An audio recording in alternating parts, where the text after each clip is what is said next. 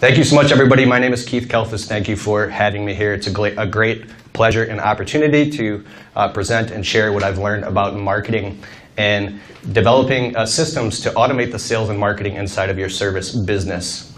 Uh, raise your hand, anybody here who considers themselves an expert at marketing your business? Anybody here who is intermediate, like you know how to market, you spend some money on marketing and advertising, but not a pro? And Raise your hand again. Let me see. Okay, who here is a, is a novice at marketing? You know some about it, but you're so busy out working and doing the, the work and, and running the business that it's, it's very hard to find the time to actually do the marketing, even frustrating. Anybody? Okay. And then who here is like pretty much doesn't know anything about marketing and you're just kind of flying by the seat of your pants, but, but you're getting a lot of word of mouth and leads organically like that? Okay, cool, cool.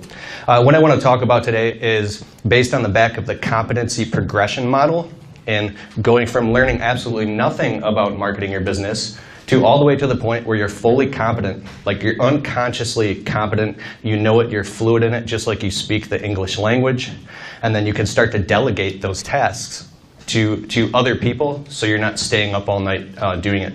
Uh, I have a landscaping and window cleaning business in Michigan, and I still find myself up at night at till 2 a.m. doing the marketing. It gets very frustrating because you'll start something, and then as soon as your hand isn't on it, it falls apart. And then you do it. So you, you have a business to run and you have a million things to do. But anyways, this is called the, the marketing progression pyramid. And how this works is the very first stage of the pyramid at the bottom here is unconscious competence. You literally, you don't know that you don't know. So, does anybody, has anybody ever heard of the, com, uh, the competency progression model? Can you tell me a little bit about what it is? Uh, the fastest way. Here you go. The fastest way for me to explain it is along with that. Um, one of the definitions of that model is an inchworm. An inchworm kind of pulls its stretches out and then it pulls its back up and it stretches out as it walks and it pulls its back up and then keeps catching up to itself. So as you learn through the uh, uh, model, you're you're improving your day to day. You're better than you were yesterday. That's probably the fastest way to explain it for me. Yeah, that makes sense. So you're you're blind and you don't even know it until you walk a mile and you see a mile. So the first steps are unconscious incompetence. Like the very, very first is you don't even know that you don't know, so you don't even know what questions to ask, and you're just blind out there trying to do whatever you can to quote unquote get work and keep the hopper full. Now, that's like you know nothing. The very, very next step of that is uh, conscious incompetence. Pardon me, I, I am slightly dyslexic, so. so conscious conscious incompetence with your marketing is that when you get to phase number two, and that's where you start asking questions. You start looking out at what other people are doing in their marketing. Like you get mail that people are marketing things to you. You see it all over the internet. You see it all over the place. Then you start seeing marketing everywhere. Everybody's trying to sell you something. Everybody has something for sale. There's a marketing piece. And marketing really is, it's creating a promise. Hello, check. It's creating a promise that you'll deliver a specific result to XYZ audience or, or person or potential client. You're creating promises, okay? So when you start looking out, that's kind of dangerous as well because in the second phase, it's called copycat marketing if you don't know why you're doing what you're doing, you don't know marketing psychology, then what can happen is you start just copying what everybody else is doing because, hey, it looks good. It seems like they're working for them. I don't know their data. I don't know their analytics. I don't know if they're even getting any results, but this company's website looks like that, so I'm going to model what they're doing.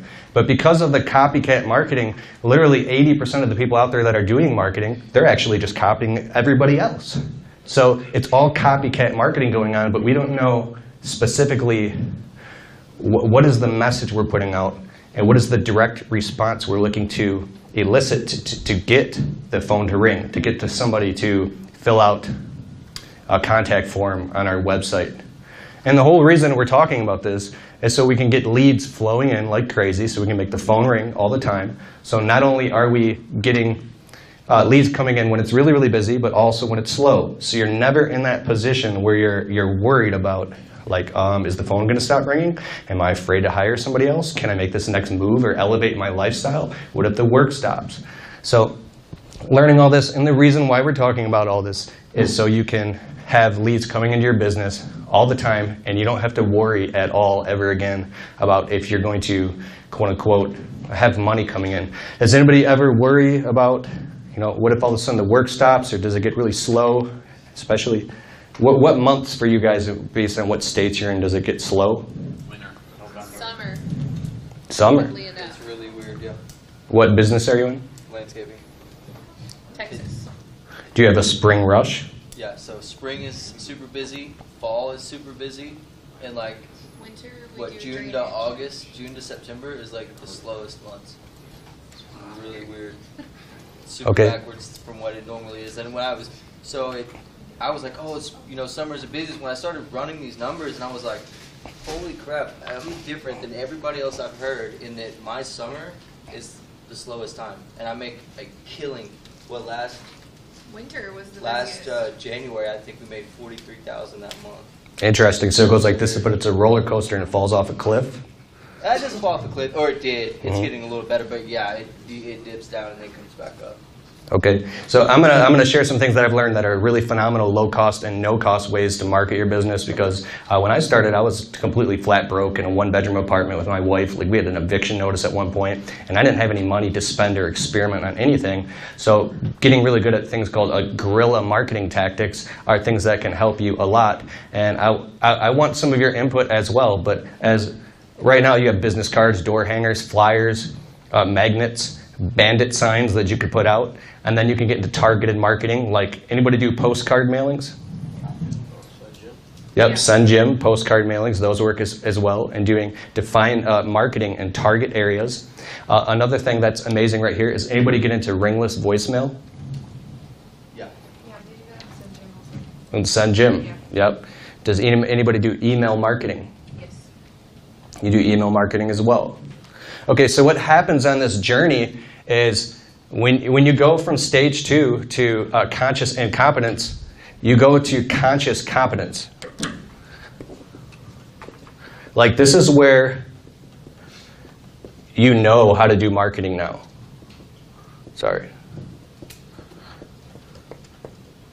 So you start to get excited because like you, you learn, oh my God, when I'm creating a flyer on my website, how many colors do you want? Well, actually a maximum of two, a, bare, a, a, a total maximum of three colors, but you want maybe two colors max, two fonts max. If you have too many colors and too many fonts going on, it becomes confusing to the customer, and then they, they, they don't know what to think. There's like there's just for some reason, has anybody ever looked at a website and it doesn't look trustworthy, but you look at a major corporate website and it looks very trustworthy? There's just something that happens in the subconscious mind where you're like, I'm in the right place and I know I can trust this because it's everything's formatted. It looks extremely clean. So once you become conscious about this, and I want to give you some resources right now that you can write down and take notes. Does anybody listen to audiobooks? There's some phenomenal books that you can pick up and listen to while you work that'll like enlighten your mind on all of this. So basically, uh, we're gonna write here, literally everything by Seth Godin. He's written books like The Linchpin.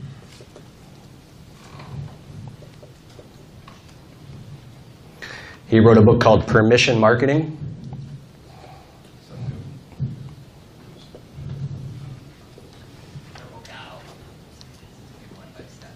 What is that? Purple Cow is an amazing book. He talks about, uh, here's a good example. Uh, there's a plumber in Michigan where I live. Literally, the entire side of his van is like a half naked dude sitting on the toilet, but when he rolls it down the window, it's him driving. So, like, that's a purple cow. You can't miss that. By doing things that are uh, bold, that other people notice and they can't forget. It could just be in the way you serve your customers. Maybe you send all your customers gourmet brownies and you knock their socks off. When you become bold with your marketing and you start to become really conscious and confident about that, then what happens on this third phase right here, when you're getting really, really good at it, you start to get uh, not only experimental, but but you start to have fun with it. Are the batteries dying on this? Is it? Check, check. Right. You start to have fun with your marketing. You start dabbling in, in Facebook ads, launching a Google Ads campaign. Does anybody do Facebook or Google Ads? Okay, so you you get excited about your marketing, but the next thing is you can get overwhelmed and frustrated because you're trying to run a business all day, and then you're trying to manage the marketing at the same time and at night. Cool. Let's try this. Check, check, cool. All right, one second. Okay, so I want to give you the tools that, that you can use to take the marketing in your business in-house and take it in, into your own hands so you can control it. When you hire other companies to do your marketing, I, I won't say uh, who they are, but some of them, they'll actually, they take hold, and now you're basically leasing that property and that real estate from them. So if you ever stop paying them money, all the work that you've created with them, they can, they take down or they can take away from you at any moment. Does this make sense? So, but you might get afraid to take the marketing in-house or you're apprehensive about that because you actually you don't have the time to do all this stuff. If you do, I say over the winter in your downtime, go crazy and start creating a huge organic marketing campaign inside of your business by creating blog posts. Here, uh, I need more place to write. Here.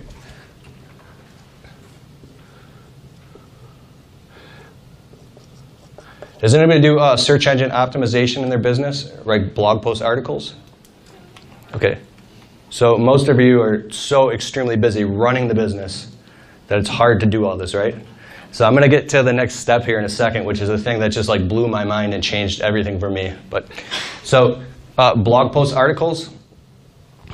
You obviously start an Instagram page for your business, a Facebook page, and all domain authority sites.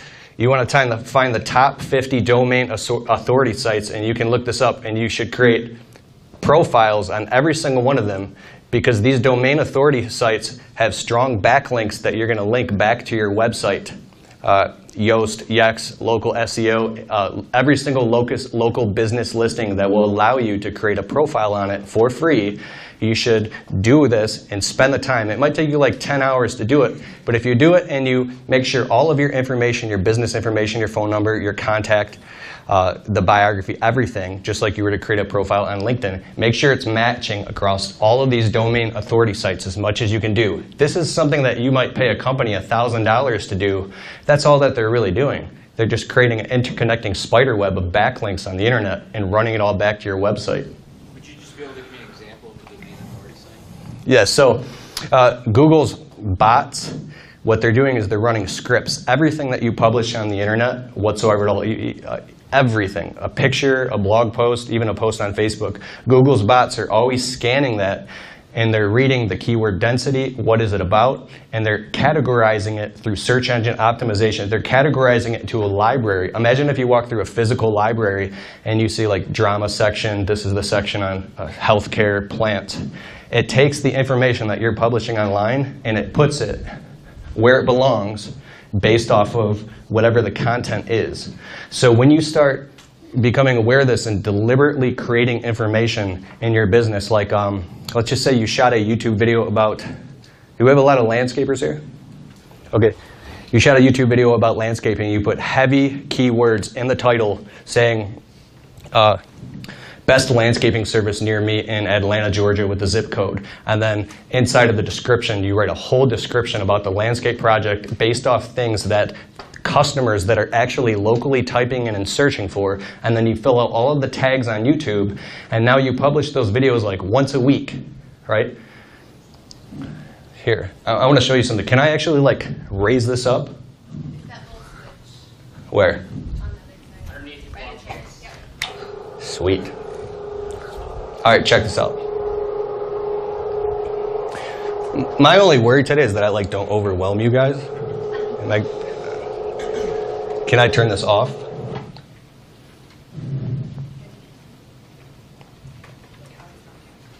Where is it? Oh, there it is. Sweet.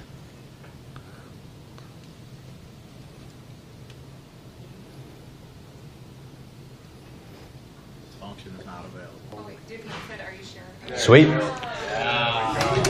right. Yeah, so here's what I'm talking about. Here's the top of your funnel right here. And when I talk about the top 50 domain authority sites, you're obviously going to have your Facebook, you're going to have Instagram, you're going to have LinkedIn, you're going to have Yext, uh, any local citation website that will allow you to create a presence. Just literally look this up. Top 50 local uh, top 50 local uh, small business search sites. It, will pop right up in Google. You can find this. There's, there's something called Yext, Y-E-X-T. They want you to pay for the service, and they're just literally doing this for you, but you don't have to pay for them. You could do it all yourself. So all of these lead sources, uh, you have you know, Google Ads, you have Facebook, all of these are all of your lead sources. Now, probably 20% of your, 80% uh, of your leads are going to come from 20% of your lead sources which would be probably Google My Business and probably word of mouth. But you still want to have a presence on all these other sites because you're creating these backlinks. A backlink is, is basically the custom unique URL that you get, like your facebook.com forward slash your business, linkedin.com forward slash your name. These URLs, when you place them on your website and then you embed them inside of what the Google bots is searching, say if it's on a blog post article, a YouTube video, a description, they say this is a blog post.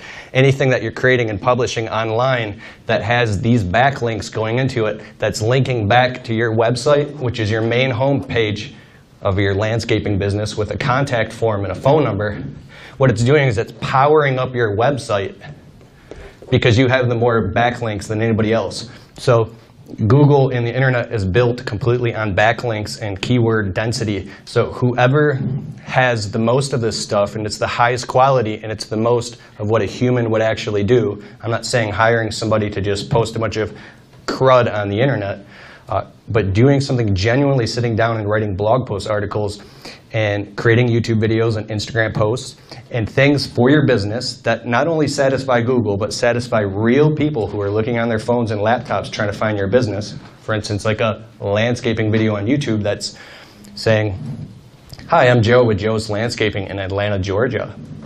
Nice to meet you. Today, we're doing a project for a client right down the street from you, and we're building this retaining wall, and we're putting in a waterfall, and I'm going to show you a before and after sequence of video footage of what this property looked like before, during, and after, so you're getting the results in advance, and you're seeing exactly what you'll get if you hire us.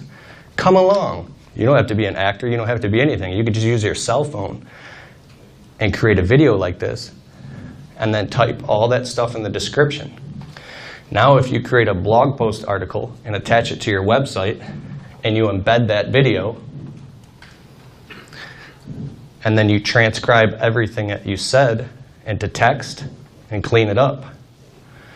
Now you have a SEO rich search engine optimized blog post with the video, text, and links linking everybody back to your website.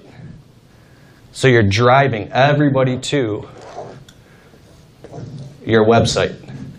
So, if you only have one or two lead sources going on, like you're just doing Google Ads or word of mouth, you're limiting yourself on all these other sources of, of, of leads, getting your phone ring, contact forms, jobs, money, then you're, you're really limiting yourself uh, because you might not be aware of everything that's available for you. Now, the frustrating part is how, how do you make the time for all this? You can get really good at this stuff. Uh, I would wake up in the morning before work a half an hour early. Anybody wake up and first thing you do is grab your phone? Okay, so it's like the worst thing you should do. But I would wake up in the morning and I'd grab my phone and I'd go on my my blog. So uh, what's the best blog? WordPress.org. You can create your own free blog. If you have a website hosting domain, you can create. Uh, you can open up a blog page and start writing blogs. So I'd sit there and I would type an entire blog about Kalfas window cleaning in Sterling Heights and everything that they're going to get. Here's an example. We have three different distinct packages. One is we clean all the windows on the outside. Two, and here's the pricing and here's pictures. Uh, three, We do the inside, uh, outside tracks, sills, and screens. We've been proudly serving Macomb County and Oakland Township. We've done 4,000 clients. We're licensed and insured, highly referred. And just write all this stuff and a whole story about it with all the links linking back to the website. Then you take that post and you share it on Facebook and share it all over the page, place and you publish it. And then you share this with your clients. So you're creating search engine optimization to make your phone ring, okay? I would literally have been in a drive-through at like Tim Hortons. Anybody have Tim Hortons? Whoa. Starbucks? Typing up a blog post while I'm waiting for the coffee and then publishing it. So the, the next thing is when you're doing this, you're creating YouTube videos and blog posts and you're posting and you're creating what's called a, here you go. Uh, here you go. You, you, you you basically have like in your marketplace as a small business owner, you are, uh, you can be a generalist. The next step is you can become a specialist. And then the next step is you can become an authority. And then the next step is uh, celebrity. And then celebrity authority. So when you're publishing information online, blog posts, articles, videos, Instagram posts, you're creating Facebook ads, and you're putting this out there for your customers to see and putting it directly in front of your, your local target market, what happens is they begin to know you, like you, and trust you before they even meet you. So they're picking up the phone because they've already seen your work, they already see what you're doing, and they like it versus calling somebody that they don't know. I call this guy on Google, he's got three reviews. This guy has 50 reviews, and they're going to see on Google all this, these extra links and sites and authority sites attached to your business name. If they look you up, they're going to see videos popping up, they're going to see blog posts, and now they can go, whoa, okay, this company has been around for a while. They're an authority. They have more credibility because you're giving them results in advance. And you can actually intentionally yeah, I, I used the word yesterday. I was like, you can manipulate the system, and, and he was like, uh, you shouldn't use that word. but you can intentionally create this authority effect in your local marketplace to now where customers want to hire you because they saw you in the video and they like you. Does this make sense?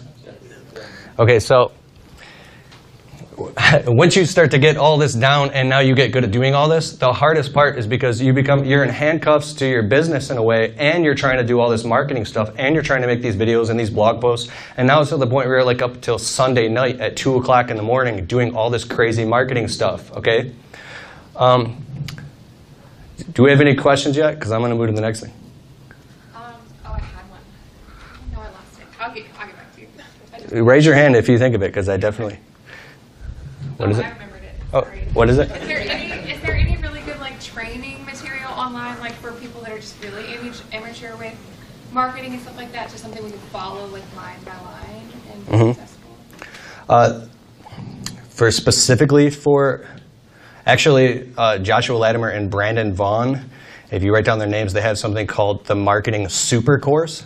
It is mind blowing. Joshua Latimer? Yeah. You have guys like, uh, I won't name off all their names, but it's phenomenal. It's like a thousand dollar course, but if you watch that thing two, three times, you'll be you'll become fully equipped. Even Joshua Latimer. I'm talking about industry specific. Yes. Okay, so when you create the blog post, you're saying that you put the links from all the domains in the blog post?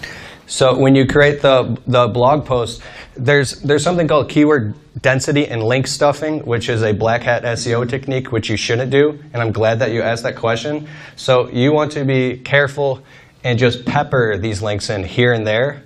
Like you ever read an article on the internet and it says it'll say a certain product, but it's like highlighted in blue, but you can click it and then it'll take you to something or take you to that thing. An embedded hyperlink, right? So you're creating these hyperlinks, which are actually they're called they're backlinks, and it's driving people to hopefully your website as soon as possible. And direct response marketing, advertising, when it comes to owning a, a, a local business, You want to get customers to your website and to pick up the phone as fast as possible. It's not something where you're going to take a sales letter and flip it on its side and create this whole long thing for, for customers before they buy something from you. So you want to drive them to your website as soon as possible by embedding these hyperlinks and then peppering in these other links because they're reading back and forth and it's making you become an authority because you're connected to all these domain authorities. You're borrowing uh, credit. And then I also have a course called the Marketing ROI course online. It's keithkalfas.com forward slash ROI. And it's an entire live event that I do each year. And um, it's all the recordings of that live event that teach you how to market your business. What was the next question? Does it cost? Sorry. Is it free, did you say, or does it cost? Mm-mm. Anybody here in the room that, that gets it, I, I'll literally give it to you for 70% off. So if you buy the, co- uh, the course online, I'm not here to sell you anything, but, uh, but it's only for this room specifically. So what were you going to say? So is this the point where you try and target your market, or is that later on? Yeah. So when we get into target marketing, this is actually psychology, like creating price transparency. You, you want on your, if this is your, I'm sorry, this is your website, if you start putting packages and pricing literally directly on your website, and you start using keywords that are specific, that speak the native language to the customers that you want to target, and talking about the specific areas, um, right in your marketing. Like, what, what is a, a city that you live in that you really want to do work in, but you don't want to do work somewhere else? What's the city you want to do work in? Plymouth. Plymouth. Okay. So when you talk about that in the marketing, you're actually creating these these disqualifiers that make people who are reading it say, "Oh, that's not for me. I don't. I'm not. I don't even live in that area." Or, "Oh, wow, those those price packages like six thousand five hundred dollars. I was looking for something for like maybe four or five hundred bucks." You know, it, or, or whatever. It could be the opposite, right? It could be something for ninety nine dollars. But when you're publishing what, what you do and what you serve to customers in the marketplace, and you're being very transparent about it and putting that online and in your marketing materials, people see that and it resonates with them or it doesn't. So when you get very intentional and realize that you can intentionally control people's perceptions based off your copywriting, copywriting is salesmanship in print then you can get dramatically higher results when you when you get into the psychology of it. You can learn stuff like this uh, in a book called um, sorry. Uh, this is an amazing book. You have to get this on Audible. Robert, and I'll get to your questions in a second. Cialdini has two books. The one book is called Persuasion. And then the other book is called Persuasion.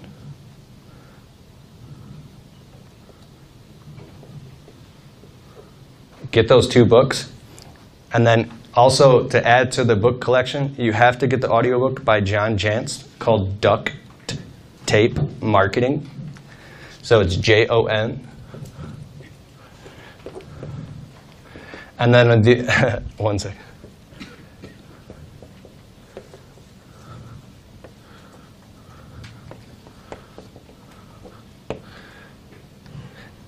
Then the final book that you you must get to fill you in on everything that I'm talking about here is by R. L. Adams.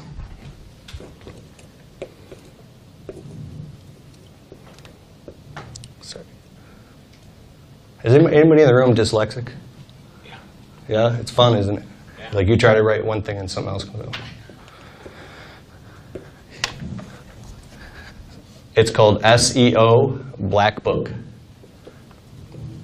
The reason I want you to read these books or listen to them on audible.com is because when you start investing your hard earned money in marketing and advertising, or maybe hiring somebody to do it, now you know what's going on and you can read through their BS. There's something called black hat SEO techniques. Black hat marketing is where they're cheating the system. Back in the day, you could buy Facebook likes, Instagram, Twitter likes, and followers. With doing something like that, will actually it'll get you demoted in the search engines, and you will become penalized by Google, and they'll take your website from first place or first page and drop it all the way down to like the 14th page, and it will take you like years to get back up. So be very careful and make sure everything that you do is 100% like legal, moral, ethical, on the up and up. Um, and you can get educated on all that stuff by these books by R.L. Adams. Uh, there is more questions before I go to the next phase. Can you write down the Joshua, the thousand dollar marketing course you mentioned previously? Yeah. If, if any of you guys buy it, I need to call him up and I need to cut off this. He's getting no, but it's it's amazing. What's the name of the book, Keith? The book is by R.L. Adams on Audible.com. He has several of them. SEO Black Book. Then he has books called SEO 2016, 2017, 2018. My friend Eric Reno owns a very successful roofing company, and I was passing him these books. And literally, when I talk to him now, he's so enlightened on all this stuff. I'm like, where did you learn all this, dude? And it's specifically from the books. And I, and I watch it happen with people around me. Was there any more questions before I go to the next phase? Okay. Uh, that's called the Sales and Marketing Super Course. If you own a service business, that'll equip you with everything that you need to know. It's uh, very, very powerful stuff. So, the third phase is conscious competence, right? Now, we're going into the fourth step.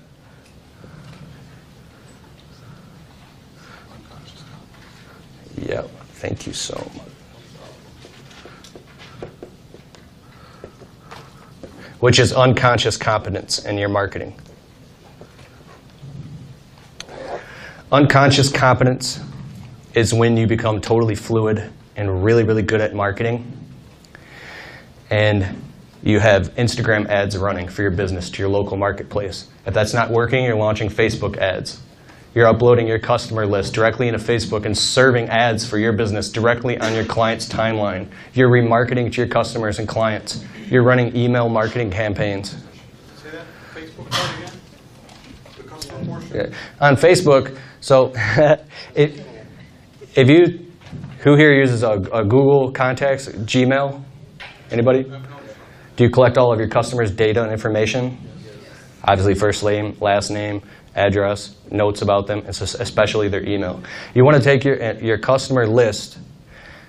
This is like the most powerful thing. You export the entire list to a CSV file, and, that, and now you import that list up into Facebook.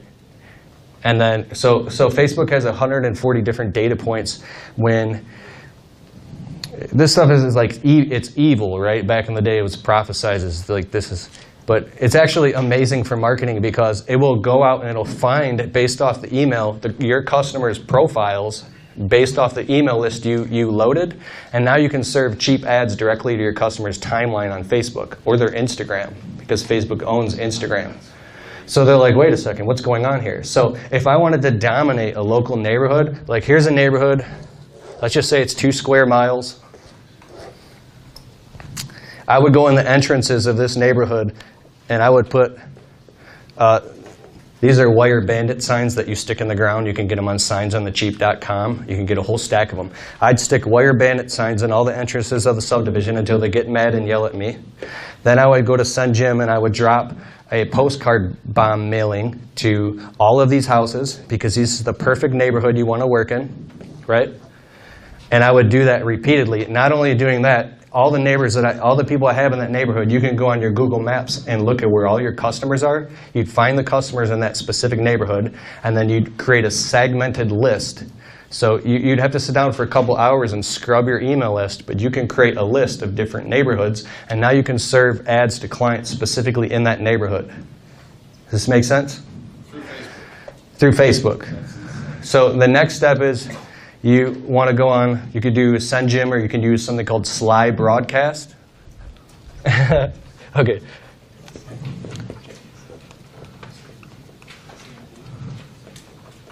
Okay, on slybroadcast.com, this is incredible. you can take all of your customers' phone numbers. So I have like 4,500 customers' contact information.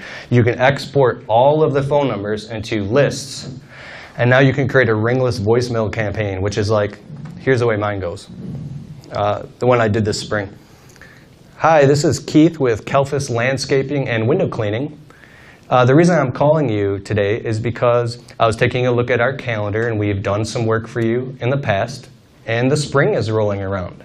So if you're looking for any property maintenance, if you need landscaping done, if you need your windows cleaned, we'd be happy to serve you. And I'm just reaching out. My phone number is 586 265 8813. And my email is keith at kalfasservices.com. Okay, I'm looking forward to hearing from you. Click. You upload that in the Sly Broadcast, and now you can launch that to thousands of people. It bypasses their phone. It doesn't ring, and it goes to a, their voicemail. Oh, I got a voicemail. Now, when they listen to that, they think that you actually left that message for them, and maybe they just missed the phone. So what happens is that's leverage and automation. What? Does that go to um, cell phones and home phones, or is it just cell phones? That's a good question. A- Any phone number. Any phone. Any. I think it goes to all phones. The interesting thing about that is, was it? You had a question? What, what company is that through? That's what that's- Uh, this one is Sly Broadcast. You could use SendJim. There's a bunch of them out there now. So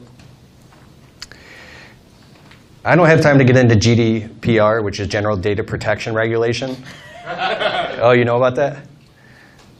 So as long as you've had explicit permission from your, your clients and your customers to do this, if they put their name inside of a contact form or if they've given you your email, you'd be fine. You only have to worry about doing this stuff if you're doing it in mass. If you started getting into, well, I have to be careful what I say. So uh, make sure you have your customers' explicit permission before you market to them.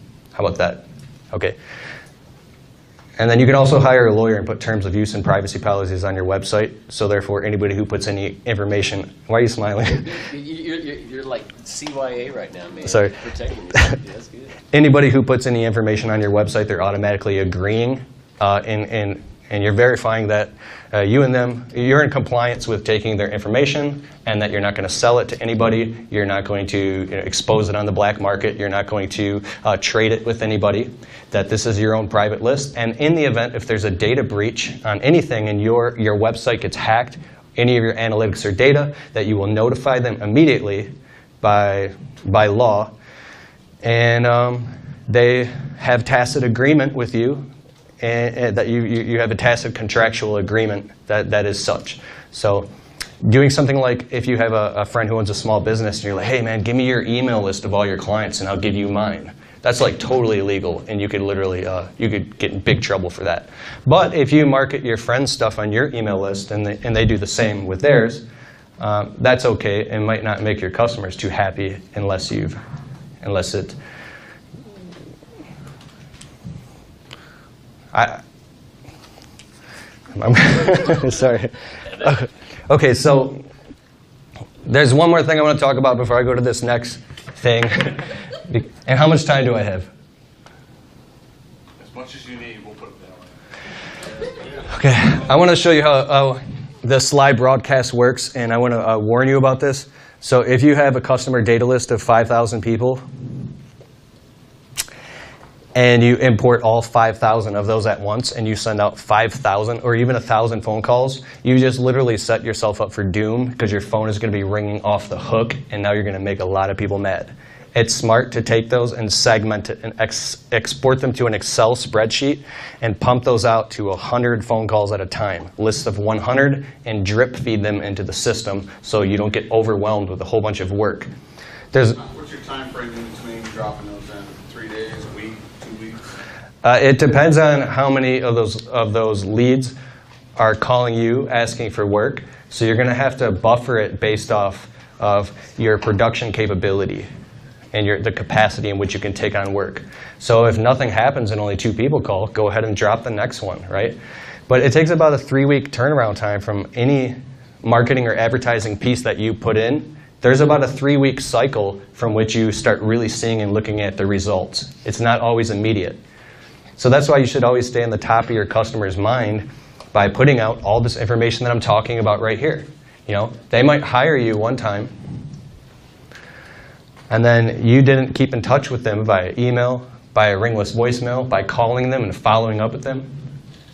And now they go with somebody else who maybe not doesn't even create a good service like you do. You just did your customer a disservice by not following up with them. You should follow up with them all the time, okay? So I hope you've all got that written down, Sly Broadcast. The next thing I want to show you is an email marketing campaign.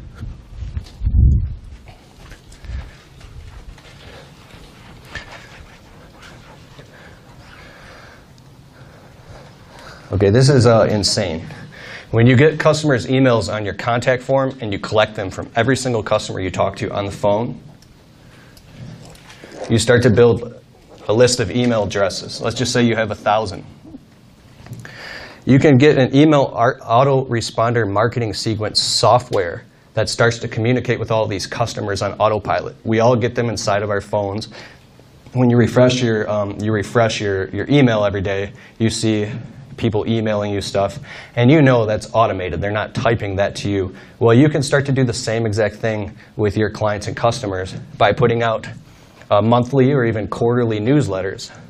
So let's say you have a quarterly newsletter. Every single time there's some type of an event or holiday, you could do like Labor Day sales. You could go on and on and on. And how you do this is by creating a, a, a marketing calendar, and you plan this out. Uh, in your slow season, you say, this is what we're going to do for the year in our marketing, okay? And email marketing is a big part of that. So here's all the different reasons why you can pick why you'd want to follow up with your customers to keep offers going out in front of them all the time on their email so they go, oh, yeah, yeah, yeah, honey, we do need this project done. That's crazy. So, or maybe they were thinking about it and they got the email and they just kind of save it, and then when they're ready, they're going to call you because you emailed them and your competition didn't. Okay, so if you type up an, an email to uh, a, a customer and you do it in a personalized tone, like Mrs. Jones, you wouldn't. Uh, you can you can put their first name in it, and then it'll automate it so their name actually pops up. But you can say the spring is rolling around and we're offering uh, these cleanouts, pond cleanouts, spring cleanups, anything, and we're giving a, a 10% discount for the month of June, okay? You type up that one email and you upload your customer contact list, right? And now you can launch that email to a thousand people.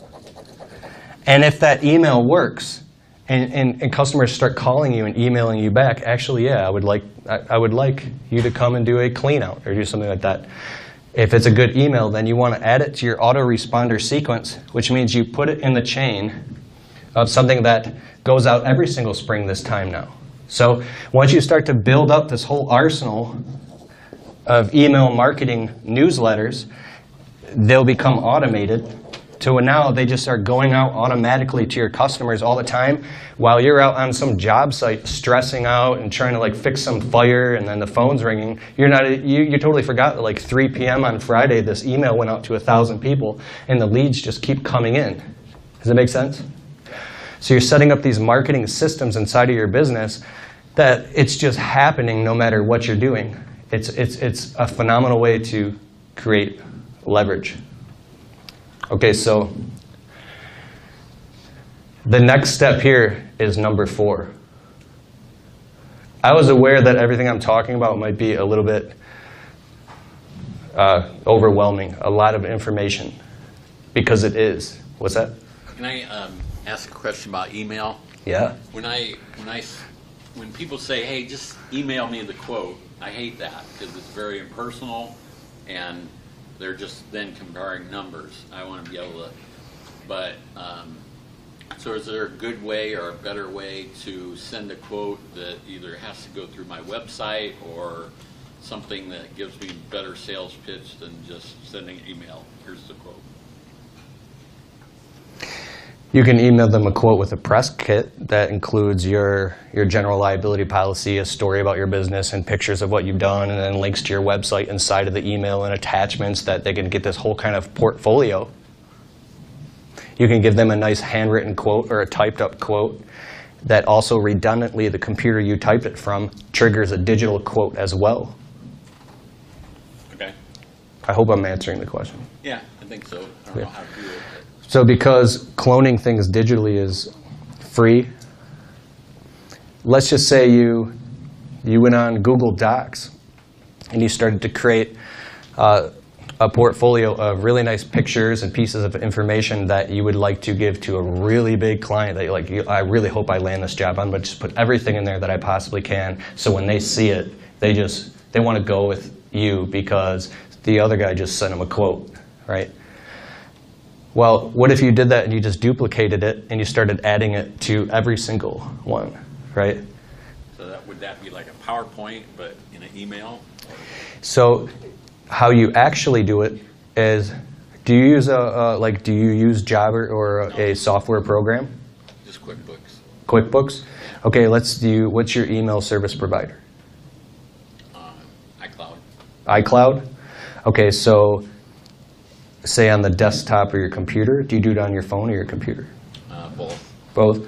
So let's say your phone or your computer, you have a folder with your, your proof of insurance, before and after photos of what you've done, uh, a story about your business. You can even include a couple video links to some videos you've done. Anything that you can add in there that creates more value and creates more trust for the customer. You're just going to drag and drop those things inside of the email as attached links, just like somebody when sends you an attachment, right? So you throw those attachments in there each time. Now that takes extra work. That might take extra 30 seconds. Sometimes you don't have that. That's when you start getting into uh, software that does it for you automatically, and then that'll buy you back more time. Does that make sense? Right.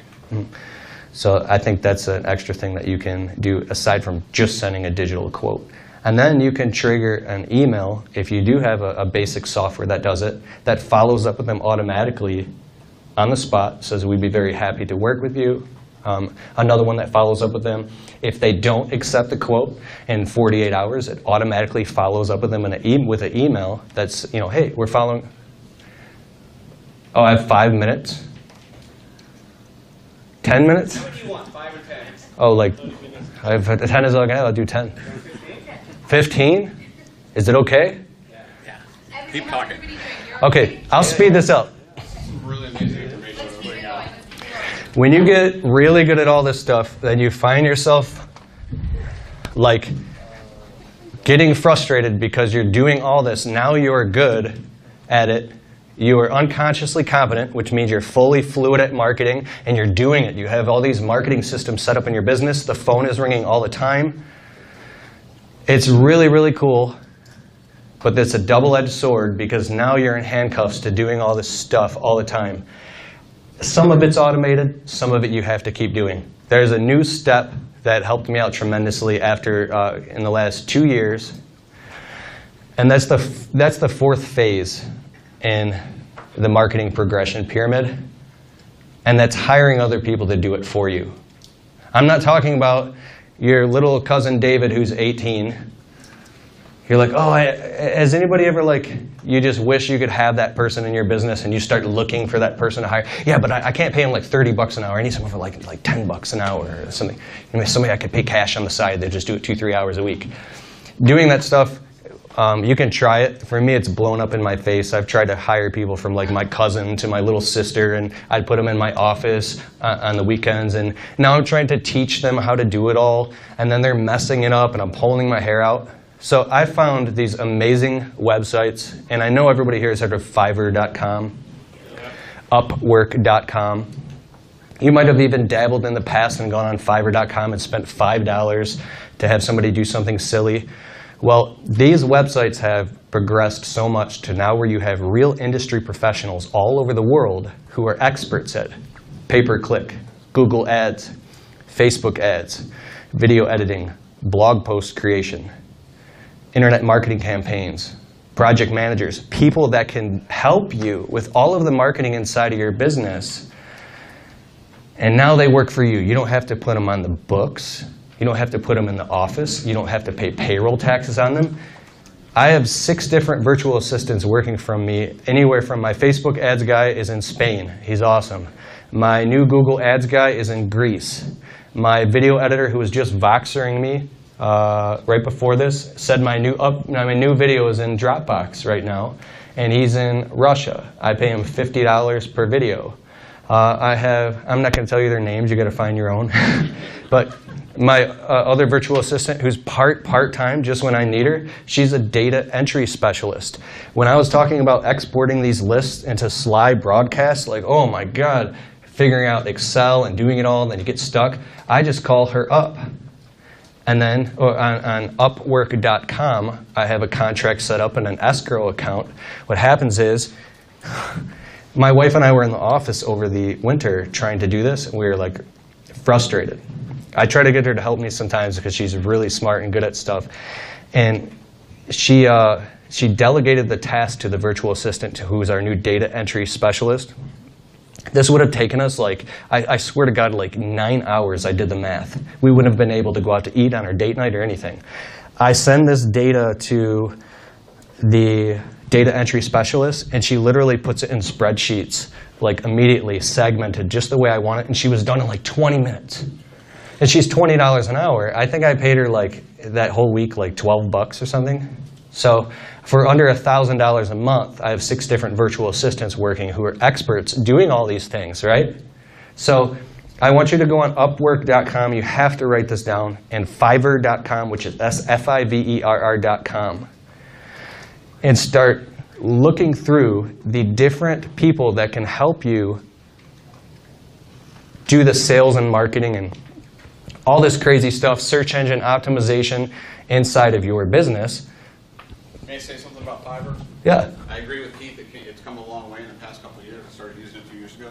Uh, You're going to have to sift through some of the people that are just getting started and trying to build their portfolio and be patient about who you're talking with and make sure you're not spending a lot of money in the wrong direction.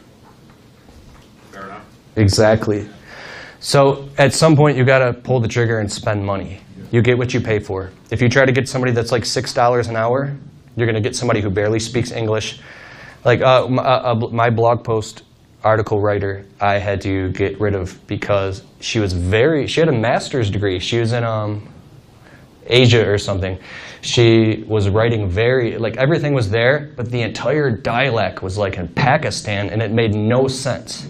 So you can't lie to yourself. You have to get rid of that person as soon as possible only because it's not going to fit with your target market. When your customers are reading this or your audience is reading this stuff, they're going to be like, this looks like robotic. It looks like it's not even real. So you might want to find somebody on Upwork.com who is a blog post article writer who specializes specifically in writing articles for the construction industry and has been doing it for 12 years and has done work for 3,000 people and has a five-star review. He's going to cost you like $60 an hour but you get what you pay for, right? So um, also I have a podcast editor in Southeast Asia who's $12.50 an hour. I think I pay her like a couple hundred bucks a month, less than that. Uh, so, so here's how you would syndicate all of this information and delegate it to a, a virtual assistant. It'd be really nice to have a, you say sometimes you get so frustrated, you're like, oh my God, I wish I had an assistant that would help me with this stuff because I can't do it all.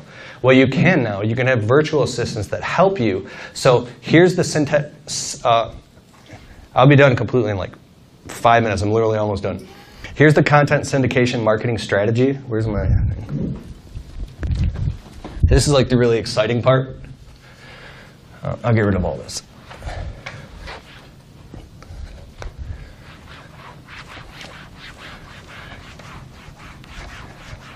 This is a uh, this part's insane. This is like my favorite part.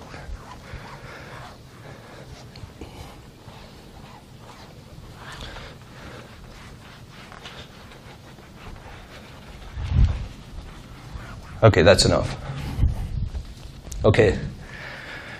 This is the top town method. It's, it's what I call, it's my content syndication marketing strategy, okay? So let's just say you're on a job site and you take your phone out and you create an entire video that shows your customers results in advance like I was talking about. Hi, my name is Joe with Joe's Landscaping in Macomb County, Michigan, or Atlanta, Georgia. The YouTube algorithm is listening to every single word you're saying. The zip code is 48044. It's listening and it's indexing everything you're saying, right? Speak as if though it was being transcribed. So I know it takes time to get aware of this stuff and to, and to do it, so it's not going to be easy at first. But anyways, take your phone out and make a video and walk around the whole job site and show your customer everything that is going on so they can want to hire you, right? You take that video, and you can do this yourself or have a virtual assistant do it. You're going to send the video to rev.com, and it's 60 cents per minute of transcription. Real human transcriptionists are going to take everything you spoke in that video, and they're going to send it back to you in 24 hours, typed out. Okay? Or you can have your virtual assistant do this for you, right? Because I, I, don't have time to even go on rev.com anymore. But it's good to get good at this stuff so you know what's going on. The next thing is you want to have your virtual assistant who does blog post articles go out and create a blog post article for you. A, a bare minimum of 500 words. If you can get up to like 2,000 words plus, that's like authority type stuff. In the blog post article, you're going to have a headline of something very keyword rich about like the most people don't like respond to the word the best anymore because that's so been overused um, the most luxurious landscape installations in atlanta georgia or something like that and then it'll be a whole article that you're going to pay a blog post writer to take this transcription and then format and add everything that you said into a well-worded, keyword-dense, backlink-rich blog post with this YouTube video embedded inside of the blog post. So what you're doing is you're repurposing this content. All you did was make a video. Now you have a transcription and a blog post and a video embedded inside of it with backlinks going to all those authority domains I was talking about going back to your website. But the next thing you're going to do is you can take and you can extract the audio from the video. And now you can create an intro and an outro, and you can create a podcast. So everything that you said in the video is now a podcast. So I have a, a pre-recorded intro and outro. It goes, "Welcome to the Untrapped Podcast." Podcast. I'm Keith Kalfas, and we talk about all these things. My blog post editor in Asia takes that, and I, she now automatically just takes my latest videos and she puts an intro and an outro and goes on uh, libsyn.com. I don't know if anybody here wants to start a podcast. I know Paul Jameson has one. And then Libsyn, uh, it's a content distribution platform. It pumps out the podcast, the videos, anything that you want um, to all these different platforms. So now you have a podcast on like iTunes, Stitcher, Anchor FM, all these different places. You didn't even create a podcast. You just made a video. You just made one video on a job site for eight minutes. Okay, does that make sense? So when you hire these people to do this stuff, these virtual assistants, these VAs, you can get this entire marketing wheelhouse going inside of your business that's just spitting out content all over the internet that's rich and specifically to your target market and leading back to your website and your phone. And all you're doing is just creating one video. What's that? How long did it take you to get to this point? Yeah. I realized that got to that question. But as you've grown with this to get to this point, how much money did you start spending and when did you realize that there was a return on it? So two years of, well, I mean, I started out here step by step by step. Th that, and that's a good question. So this first step here was like uh, one year in starting my small business. Then I got really, really frustrated and I went to phase two, which was like I was copycatting everything that I saw everybody else doing and it wasn't working too well. And then I started investing in, uh, uh, sorry, online courses and programs of learning how to marketing and buying all the books while working out while working out in the field all day, I'd be listening to audiobooks and getting um, competent at all this stuff. And that's what got me up in this area after about three years. you can speed it up a lot faster based off what I'm talking about right now because I'm showing you the, the progression model right now. If you get the information and, and start listening to these audiobooks and informing your brain right away, then you can skip through these. And I'd say you could be up to this level within six months, your first slow season that comes by, and you can dive into it and commit and block out the time on your calendar. Say, like, okay, every single Friday night from 6 o'clock until I go to bed, I'm going to work on this stuff and building marketing systems inside of my business. And one by one, you start to implement these systems. So I'd say, I'd say six months you can get to that point with the virtual assistants now, all this I'm talking about, so you can syndicate and repurpose all the marketing kind of like on autopilot. I'd say that'd be another six months. The speed of implementation, the speed that you implement this into your business is how fast it'll work. So when we were talking about Upwork.com, pulling the trigger and spending the money and hiring somebody and watching them doing it wrong will actually be more profitable for you because you'll see, oh my God, I spent $250 for a person to create this whole entire, remember I was talking about the email sequence?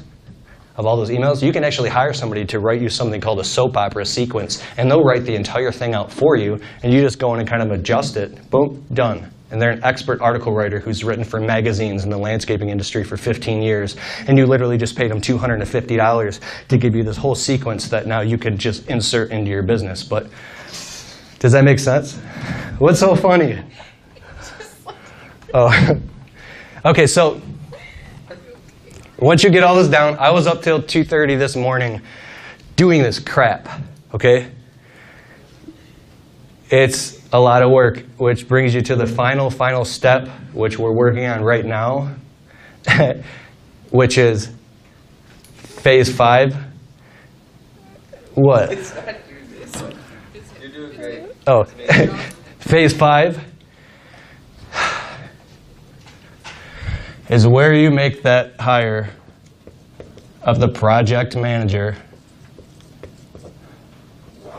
who delegates to all of the virtual assistants.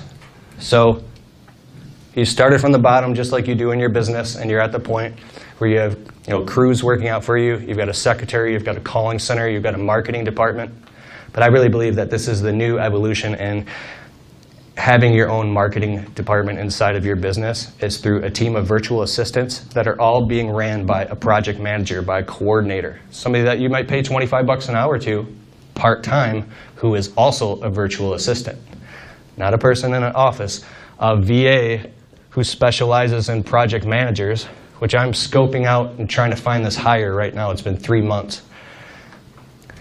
Then, once they all are working for that project manager, now you start to introduce them all to each other, and now they start, it, creates a synchronicity effect, and now everybody's on the same page, and then you can ramp up your marketing and do anything that you want just by speaking it or sending an email. Does that make sense? So at this level, now you move into automaticity. That's where, like, you just have computer screens, you're looking at stats, analytics, data, and you're just like flying off your gauges, adjusting things. And when something's wrong, you can spot it because you've been there. So, any questions? I hope I didn't overwhelm everybody. Are you gonna write a book? Huh? Are you gonna write a book? I've written two books. Uh, I got a couple of them over there because somebody emailed me and asked me. They said they wanted to buy a book. My third book is coming out next spring for sure now. And it's called uh, The Marketing ROI How to Automate the Sales and Marketing Inside of Your Service Business. And then, um, so look out for that. That's on, it'll be on audible.com, on Amazon. You can uh, go into Barnes and Nobles and you'll be able to order it there and get it mailed to you.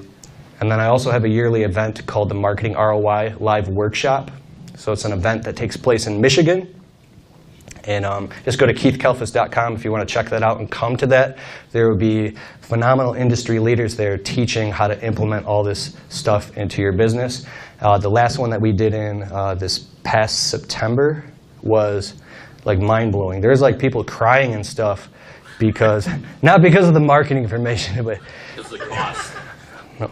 Oh, it's only uh, 300 bucks a ticket, and it's a two-day event, so it's you, you, you really get out what you put in, but i- is there any questions? When's your next event? My event was going to be this September, but we're pushing it back till November or December. My wife and I just moved, and we've had a lot of stuff going on in our personal life. So uh, I don't want to launch something that spreading ourselves too thin. I really, really care about all the attendees at my event and that they get the best, that they get transformation and transcendence. And so if we have to postpone that to make it better, then it'll be that much better when it comes. But it's called the marketing ROI. With all of the calls that you got coming in, Yeah. do you let the phone ring and let it go to voicemail? How do you follow up with them? How do Yeah. through so you're not wasting time? So at first I was answering the phone all the time. Then I started creating block time at you know 11 a.m. till noon before uh, all the guys and we all go to lunch. And then in the afternoon, then I got so sick of that because like a fire will break out in the business at 11 and I can't do it. Like you can never stick to the things that you say you're going to do because you're running a business. It's like a, a, a chess table that's rotating and turning in real time. It's so frustrating, but it, that's that's how you make things happen. But I finally pulled the trigger and I hired a company called Jill's Office. If you go on my YouTube channel, it's like five videos down. I did a whole video about it. They're a We use something like that. oh you do? Saves What do you use? uh, pin collars. Pin collars? Pink. Pink collars? Yep. Sweet. I don't pick up a phone from April until July 4th. He doesn't pick up a phone from April until July 4th. So I use Jill's office. They have different packages based on minutes. They're, prof- they're professionally trained virtual secretaries. They're like in Utah. Uh, my work phone forwards to Jill's office. There's an entire, this is genius, by the way. There's an entire script because I was a little frustrated and scared. I was like, oh my God, well, like, how, do, how are they going to know how to talk to my customers? What if they send me a bunch of stuff that I don't even want to do? How, how's this going to work? And I just settled down and I went through their process because when you get to the point where that pain of changing is less painful than the pain of staying the same, you'll change. So It's one of my favorite things I've ever heard you say Yeah. in the like years that I've followed you. That Well, thanks. thing is like it comes into my mind all the time. Well, I stole it from somebody, so. um, yeah, when the pain of changing is less painful than the pain of staying the same, you'll change. and, and, and I know for me, my personality type, I'll wait till something gets so bad, like like we just bought our first house. I always thought like, no, mortgage means agreement until death. I didn't want to buy a house, and I was up all night like sweating bullets and having nightmares the day before I signed the mortgage agreement. And now we have a nice house and everything's nice, and it's like two hundred dollars more a month. It's like, it's. I'm so glad that we did it. But anyways, we we, uh, I hire a company called Jill's Office. They're professionally trained virtual assistants who are experienced in answering the phone specifically for service-based businesses. So they have an entire script based off the, the Q&A form that they sent me. They are literally, they pick up the phone. They're like a little too happy. They're like, thank you for calling Kalfas Professional Services. How can I help you? So I'm getting uh, these emails from them inside of their app that says uh, Dave Jones called. Uh, we booked him for a window cleaning for $349 next Wednesday at from 1 until 3 p.m. and he's booked.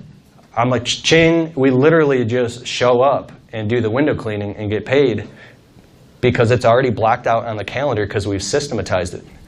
But all the landscaping quotes I have to visit in person. We block out times based off area. Uh, I do landscaping quotes in a tight radius. There's like four zip codes where we live. So in the morning I'm in this zip code, in the afternoon I'm here, and in the evening I'm in this zip code. So they book my quotes according to zip code when they talk to the customer and qualify them. So I'll have like 10 quotes booked, and I just show up at the quotes because the secretary already handled it. Does that make sense? Jill's office. These guys, whether whatever company it is, they close 60 to 70 percent of the calls that come in for them. So they send them a quote, and I get 60 to 75 percent of whatever they whatever they quote. Say, say that on the mic, dude. So all these uh, phone services, virtual assistants, we send out, we get about 500 quotes a year, and we're closing 60 to 70 percent of them. And all they're doing is giving them everything they're gonna, what we're gonna do, their expectations, what they should expect us to do, what they should do. And it, the quote gets approved, I schedule it, and we just, it's in the system. Saved us From in college? Yeah, saved us hundreds of hours. Here's one thing that I learned. It's not all or none. You don't have to just pull the trigger and hire someone for like two grand a month. I used to freak out about this. Oh my God, I got to lease an office and put a secretary on payroll. You can literally start out and hire somebody one hour a week. Just try it. Just do an experiment. Okay, I'm going to try this, but I want to start at the lowest, lowest possible, one hour per week, and just see if it works. Okay, next, and then we'll do five hours per week. I'll start out by hiring one virtual assistant one time on Fiverr.com, and I'm only going to spend $25 and see how it works.